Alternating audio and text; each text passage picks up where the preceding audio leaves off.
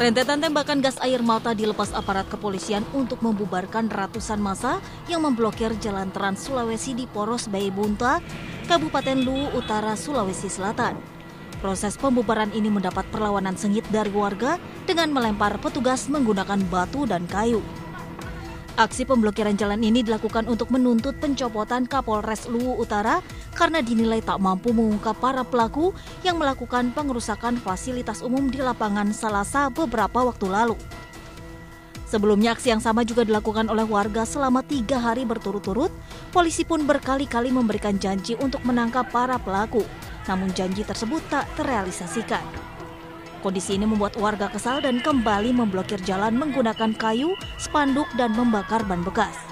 Akibat pemblokiran yang berujung bentrok ini, ribuan kendaraan dari kedua arah alami kemacetan cukup panjang.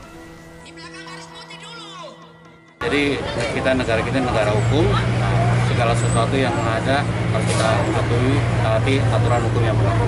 Jangan melakukan tindakan main hakim juga atau semena-mena.